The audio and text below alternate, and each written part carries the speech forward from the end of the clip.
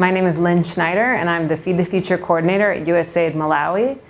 Um, I would like to share that um, by working in crops that are nutrient rich and at the same time climate resilient, um, such as our Feed the Future focus value chains of soy, groundnut, and orange flesh sweet potato, we're able to help uh, smallholder farmers to diversify, to sustainably intensify their production, um, to uh, enhance their adaptive capacity, the resiliency to climate change by, by the nature of working in those value chains, diversifying away of, of diversifying out of their staple crops, and then also to improve nutritional outcomes by helping to increase the production and consumption of those nutritious crops.